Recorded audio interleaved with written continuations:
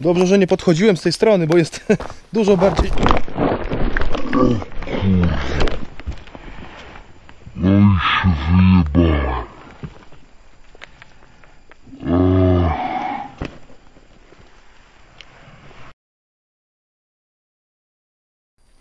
Przebrałem się już. I będę szedł dalej, ale mam teraz dylemat, czy robić z tego wszystkiego jeden filmik i znowu będzie on bardzo długi, czy po prostu tą sztolnię wrzucić oddzielnie jako filmik, a oddzielnie wejście na Radunie i Ślęże.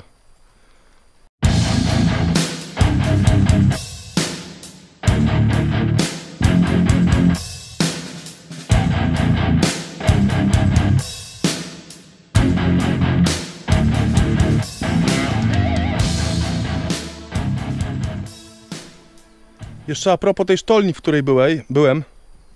Tutaj jest e, szyb do tej sztolni. Oczywiście jest on zasypany, zawalony.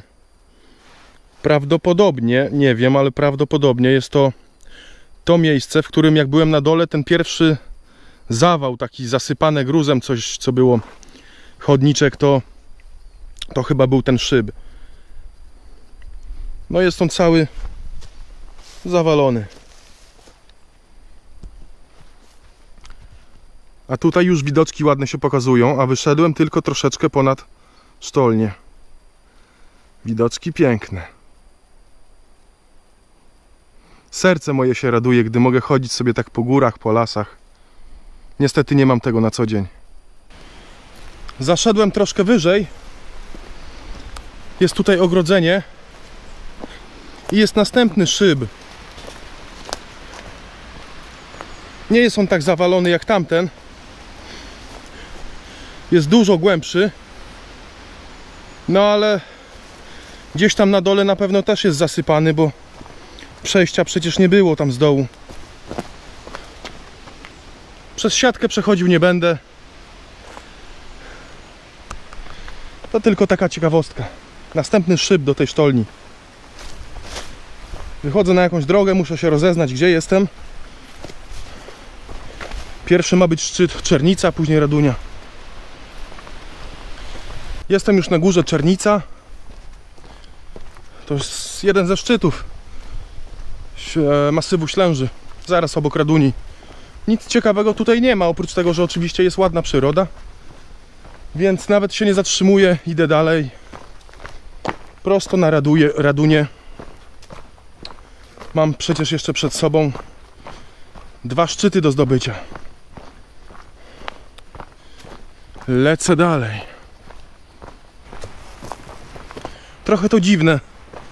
Mam na mapie, na Google Maps, dwa miejsca, dwa szczyty Radunia.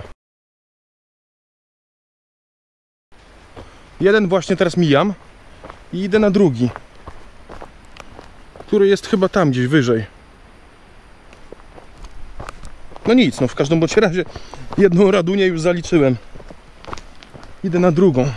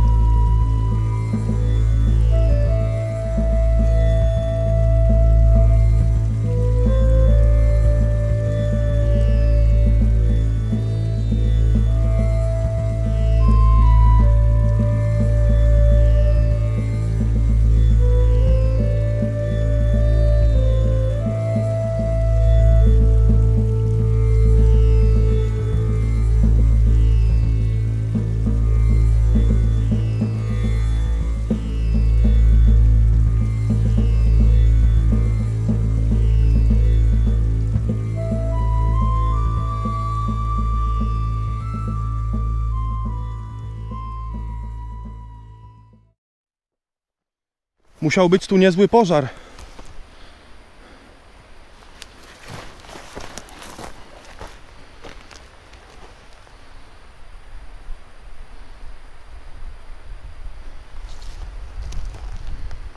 Widoczki świetne. Super.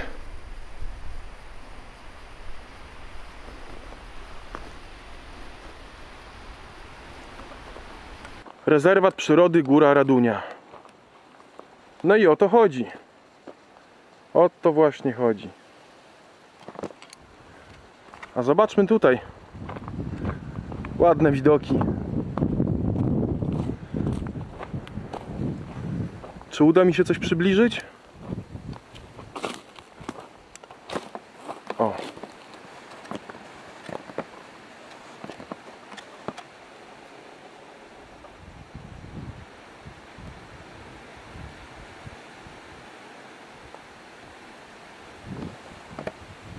Jakaś wioska, nawet nie wiem co to za wioska, musiałbym spojrzeć na mapę. No ale pięknie to wygląda.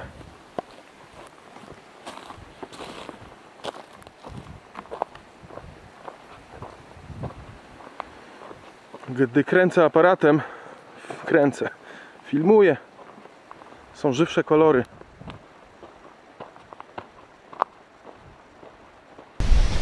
Spójrzcie jak ten szlak wygląda. Cały czas powalone drzewa. A jestem już prawie na szczycie.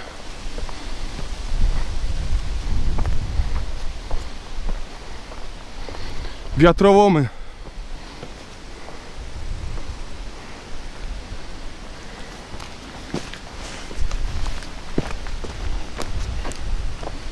I tam daleko cały czas powalone drzewa. No i dotarłem na szczyt Raduni. Nie ma tu nawet żadnej tabliczki, że to jest jakikolwiek szczyt. Ale muszę przyznać, że jest tu bardzo fajnie. Miejsce na ognisko, taka jakby ławka.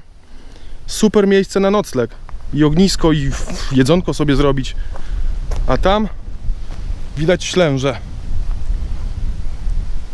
I cały ten maszt.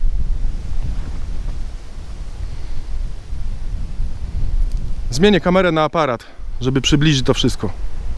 Przede mną ślęża widziana z góry Radunia.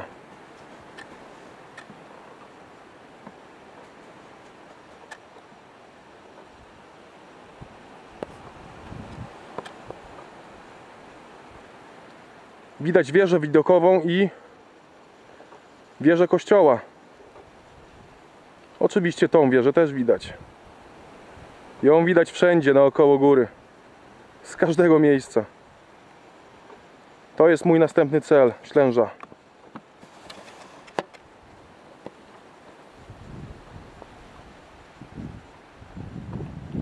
Świetne miejsce. Muszę po- pomyśleć kiedyś nad noclegiem tutaj. Bardzo mi się podoba. No nic, napiję się wody i lecę dalej.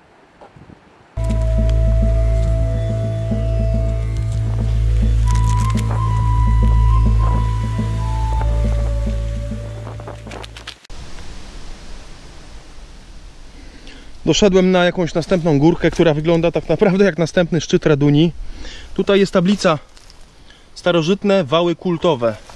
Gdzieś tam walnięta w krzaki, schowana. Tu jest taka górka z jakimś kamiennym kopczykiem. I następna tablica. Starożytne wały kultowe. Tak patrzę, rozglądam się, no gdzie te wały kultowe, no bo no nie widzę. Roślinność jest tak bujna, że po prostu nie za bardzo widać, ale tam jest trochę kamieni i myślę, że tam będzie widać kawałek tego wału kultowego. Tak, to chyba to. Tak, tak, tak. Teraz już widzę. To jest to. No cóż, dla mnie to wygląda jak po prostu porozrzucane kamienie. Ale to są te starożytne wały. Wały, wałki i wałeczki.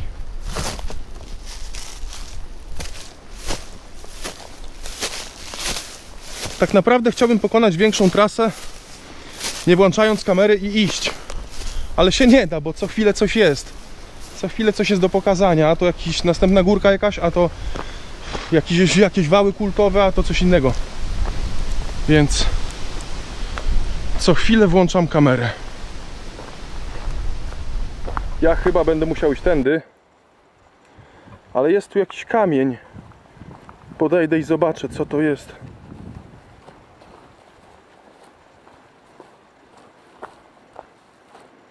Taki tam zwykły kamień, głaz. Tutaj skały ogólnie wystają, aha.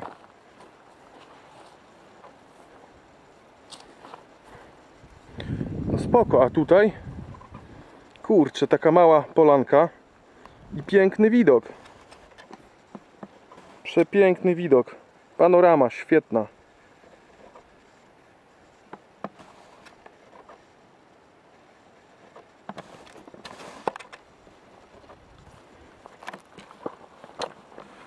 Z tego co mi się wydaje, muszę iść tam w lewo, ale nie jestem pewny. Zaraz zobaczę. No nic, przygoda. U mnie to jest to po prostu przygoda. Nie jest to kanał historyczny, już to mówiłem kiedyś.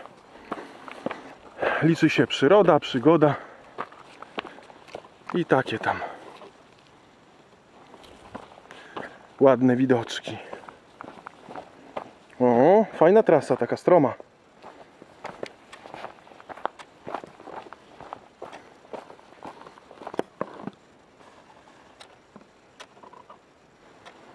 Nie no, świetna sprawa, spójrzcie.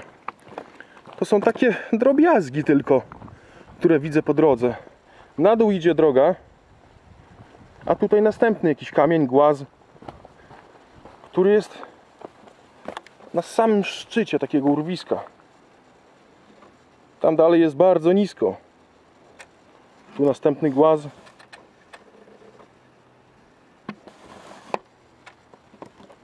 I piękny las. Tam gdzie jest mój cień, tamtędy idzie droga.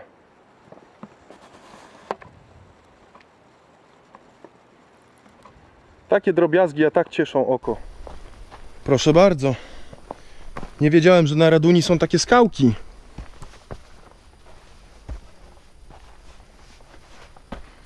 No, ładnie, ładnie.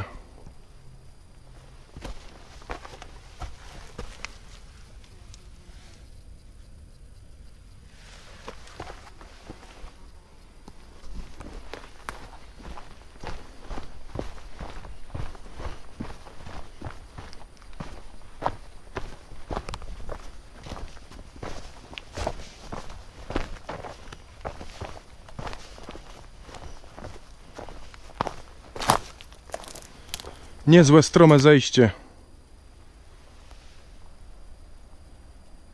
Zobaczcie jakie dziwne grzyby.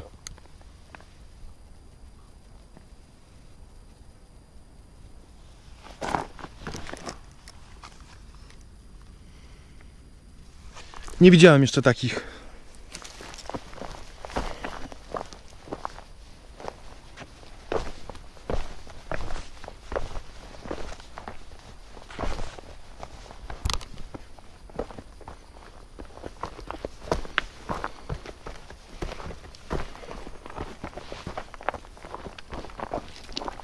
Dobrze, że nie podchodziłem z tej strony, bo jest dużo bardziej... O kurwa. No i się wyjebałem. Ach. Wiedziałem, że muszę uważać, a jednak gadanie do kamery i schodzenie takim szlakiem to jednak jest niebezpieczne.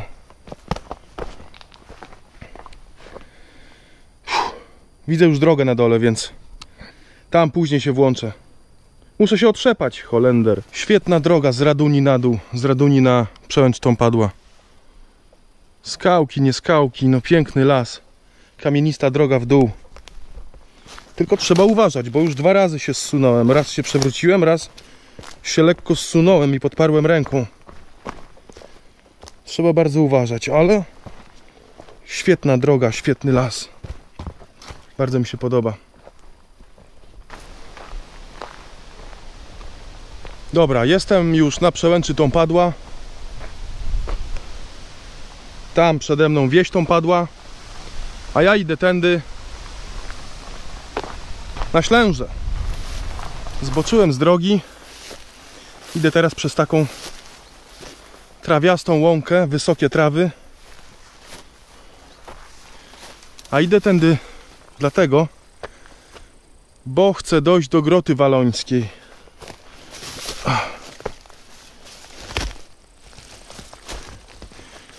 Nigdy jeszcze jej nie widziałem. Chciałbym także Wam ją pokazać, więc muszę tędy iść. A idąc przez takie trawy, od razu myślę o kleszczach. Ale muszę tędy iść.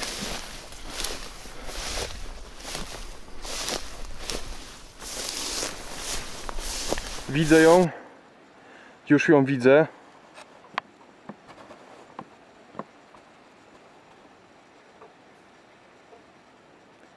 Zaraz będę na miejscu.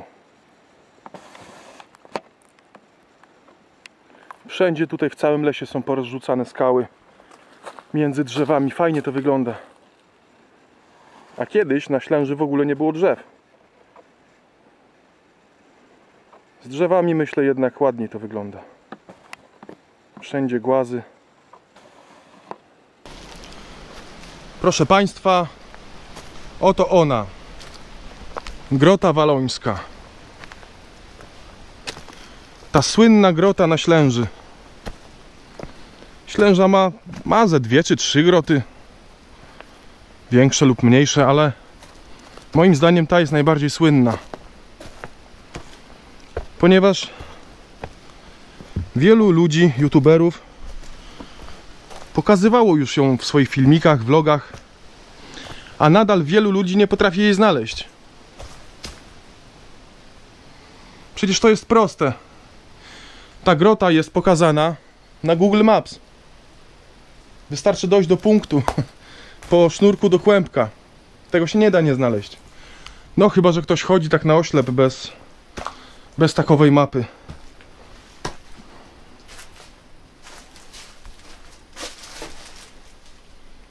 Tak. Tam się kawałek da radę wcisnąć i tylko tyle. Taka parumetrowa grota, ale świetna. Świetnie to wygląda.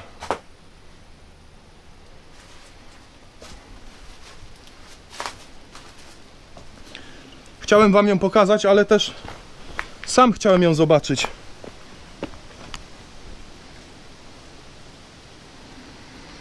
A wokół groty taki krajobraz. Wszędzie porozrzucane głazy, skały, zielone buki. Super.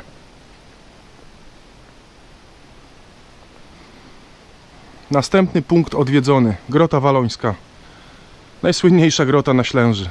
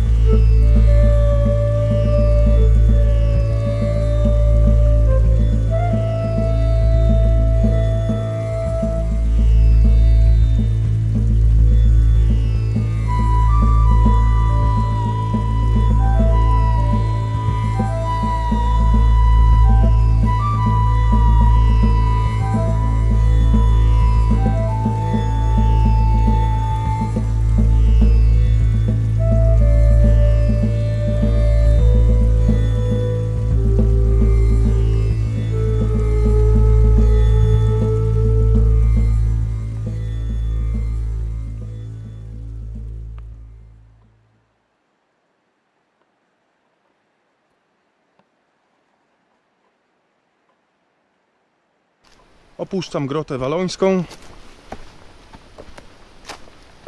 i idę znaleźć drogę Eugeniusza. Droga Eugeniusza to jest stary szlak, jeszcze przedwojenny. Został on zrobiony w 1909 roku, więc już trochę lat ma, co nie? 111. Chcę iść tym szlakiem, ponieważ ma piękne kamienne schody i jest bardzo rzadko uczęszczany. Turyści prawie tamtędy nie chodzą, a wiadomo, Ślęża jest bardzo znana turystycznie. Na górze na pewno spotkam trochę ludzi, ale ten szlak pomiędzy skałkami jest piękny i mało uczęszczany, dlatego właśnie nim będę szedł. Będę przechodził przez skały Władysława. Pokażę je Wam.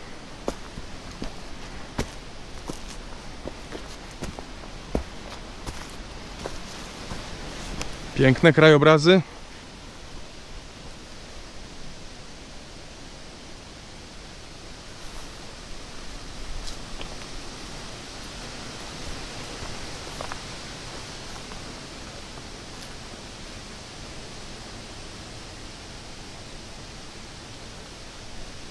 A tam Radunia, na której byłem niedawno.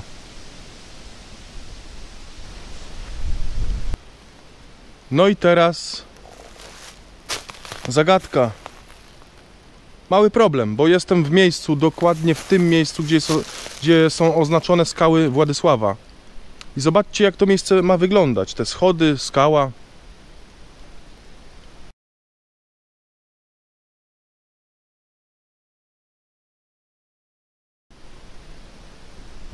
A spójrzcie tutaj. No nic takiego tutaj nie ma. Są tylko porozrzucane kamyczki. Nie ma żadnych schodów, żadnej ścieżki. Nie wiem, czy ktoś to źle zaznaczył, złe zdjęcia dodał, czy o co chodzi. Przejdę się kawałek dalej, w tą, w tamtą, zobaczę. Może na coś natrafię. Nie mogło być tak łatwo. Byłoby za łatwo. Ok, znalazłem te schody, znalazłem skały Władysława. Okazało się, że są po prostu oznaczone w innym miejscu na mapie. Ale znalazłem i idę. Ciekawe dokąd mnie doprowadzą. No liczę na to, że na szczyt Ślęży. Tak powinno być. Zobaczymy jak będzie. Czy znowu gdzieś nie zbłądzę.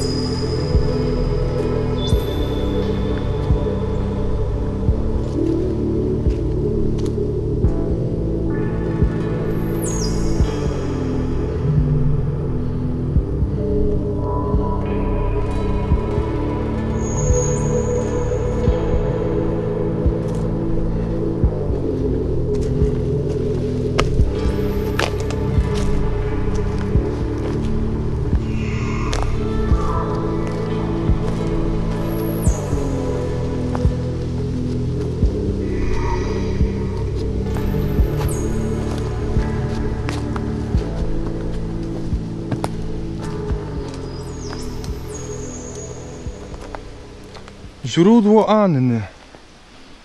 Droga doprowadziła mnie do źródła Anny.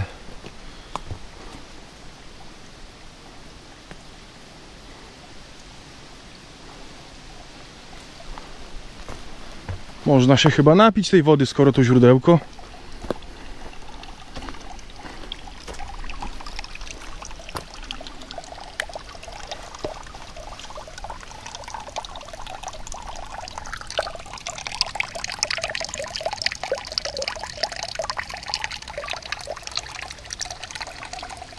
Przemyję ręce, twarz i się napiję. Ktoś tu nawet zostawił szklankę, żeby się napić. No, ja tej szklanki nie będę używał, bo to Wielu ludzi z niej piło po prostu.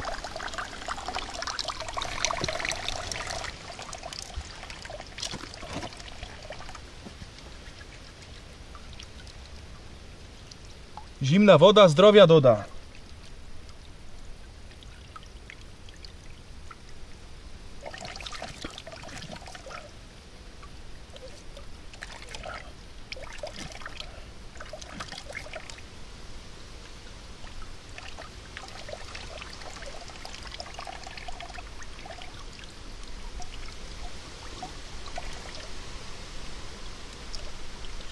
Dobra.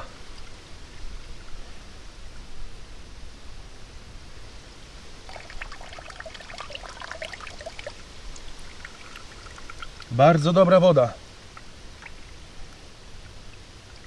Nawet nie czuć niczym. Niczym nie czuć, szczerze mówiąc.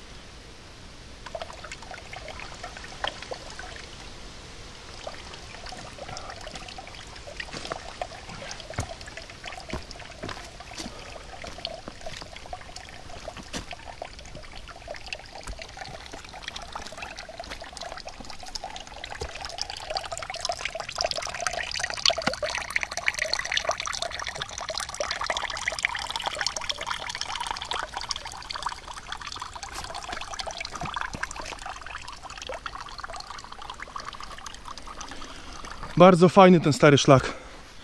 Tak sobie nim idę i idę. Co jakiś czas jakieś schodki, źródełko. Cały czas jakieś skały i piękny las.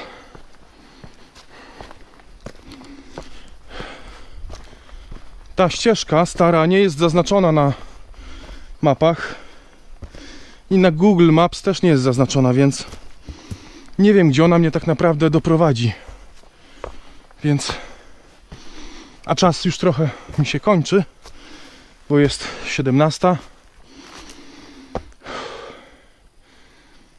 Znowu schodki. Jest już 17, a ja jeszcze nie wszedłem na szczyt Ślęży. A później muszę jeszcze dojść do Sobótki, zadzwonić po transport. Także nie mam czasu chodzić cały czas tym szlakiem, gdziekolwiek on by prowadził. Zobaczymy. Może zaraz gdzieś odbiję, żeby jak najszybciej wejść na szczyt. Ale dyszę. Uff, ale te schodki są strome. Nie no, szlak przepiękny. Przepiękny.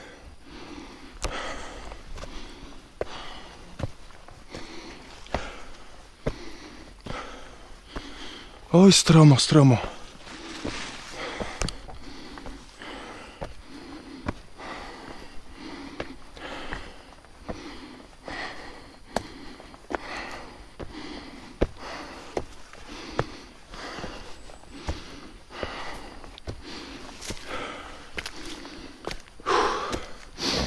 No i jestem na jakiejś górce, na jakiejś skale.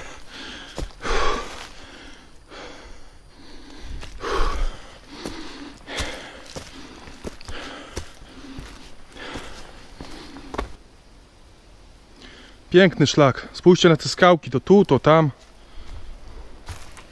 I chociaż słońce jeszcze świeci, to tutaj jest tak jakby ponuro, tak już się zrobiło.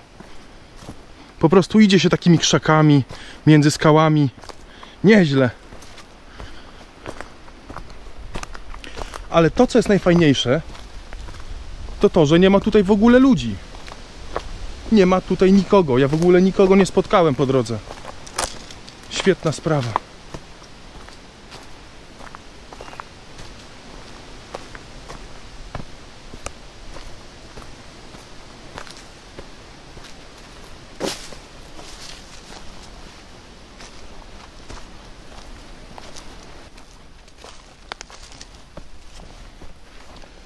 Stare, powalone drzewa, nieruszane przez nikogo.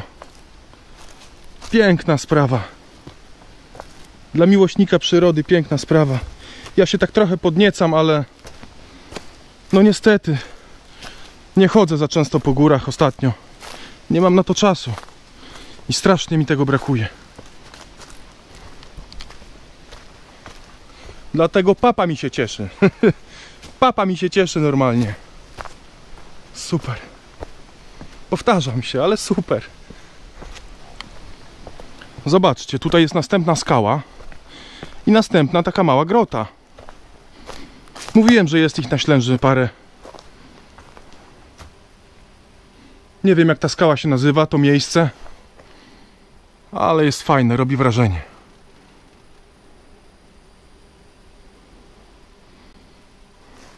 A moja droga idzie tam.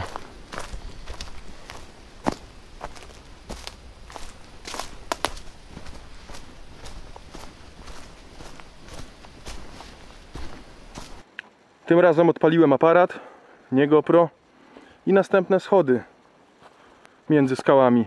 To jest dosłownie przy tej skale z grotą obok przed chwilą, której byłem. I następne schody.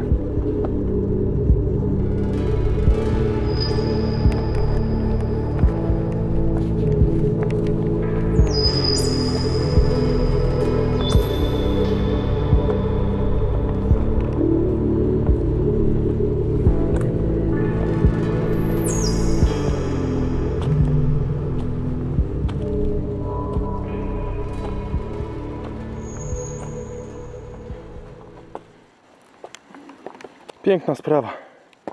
Od schodków tam na dole poprzez takie półki skalne.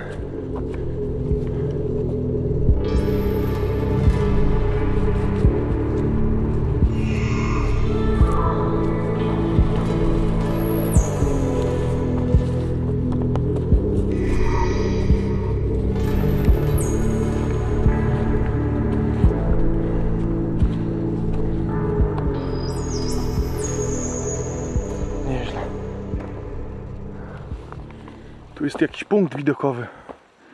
Oczywiście wszystko to już jest teraz zarośnięte i nic nie widać. Ale kiedyś musiało to być fajnie.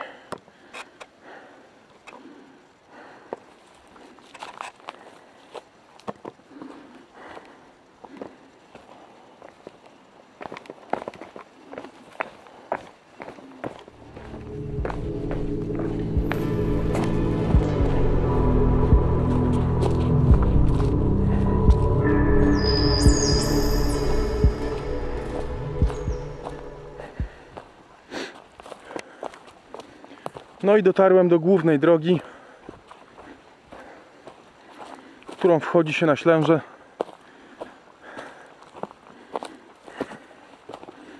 I nią już wejdę na szczyt.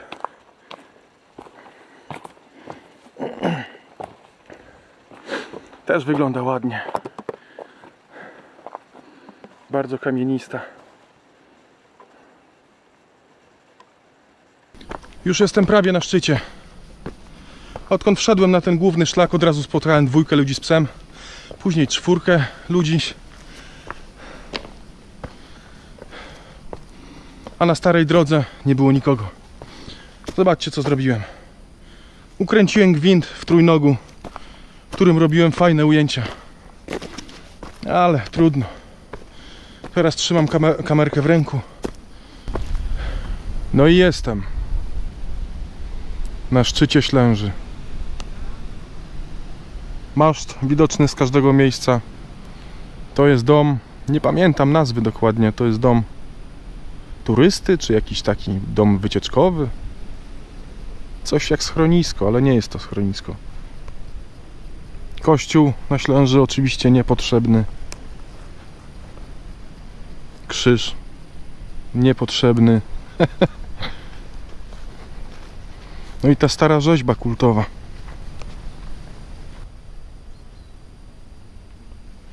Starożytna rzeźba kultowa. Niektórzy twierdzą, że to jest niedźwiedź. Niektórzy, że dzik. My tego się już nigdy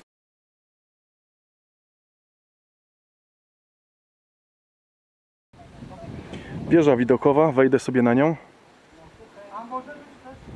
Bateria mi już padła w GoPro, także resztę dogram aparatem. Gdy byłem tutaj parę lat temu, to wieży, nie było schodów na wieżę, także nie można było wejść. Teraz sobie wejdę i pooglądam widoczki.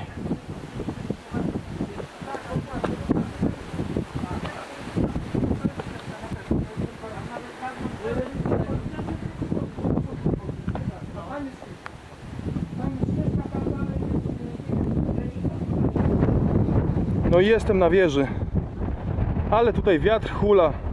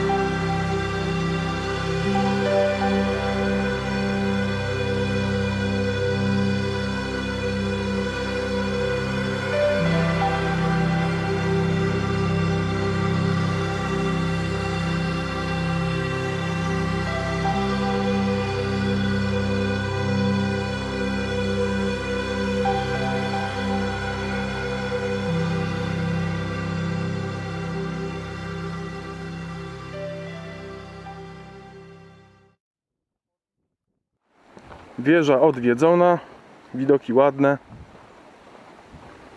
Teraz czas iść się posilić i napić się. Odpocząć chwilę. A później na dół do Sobótki.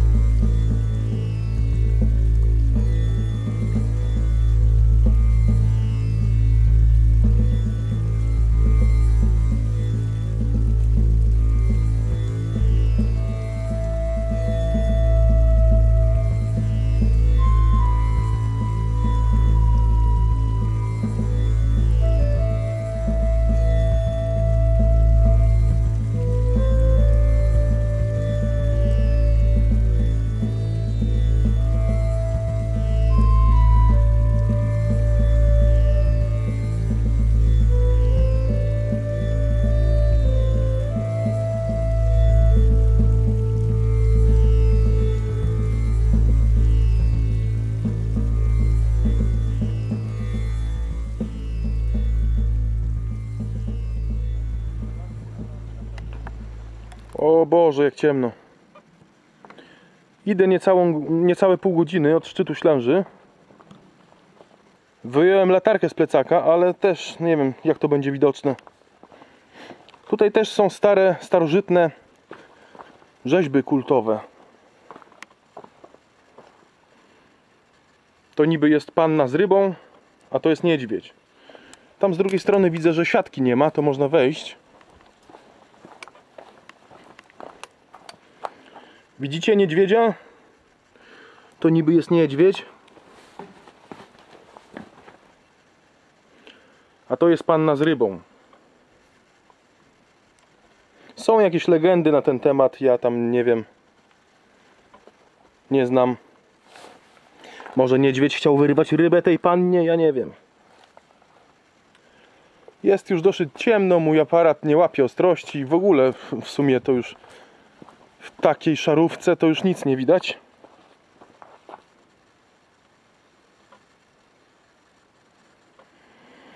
No, ale ja dążę powoli do dołu, do dołu, do dołu, do Sobótki. Dobra, jestem już na ulicy, na parkingu pod Ślężą. Stanąłem pod latarnią, żeby było widać moją gębę. No i co, czas się pożegnać. Jeśli nie widzicie mojej mordy, to, to ona. Czas się pożegnać, nic nie nagrywałem, bo było ciemno po prostu. Trzymajcie się, na razie, do następnej wycieczki. Mam nadzieję, że się podobało. Na razie, cześć.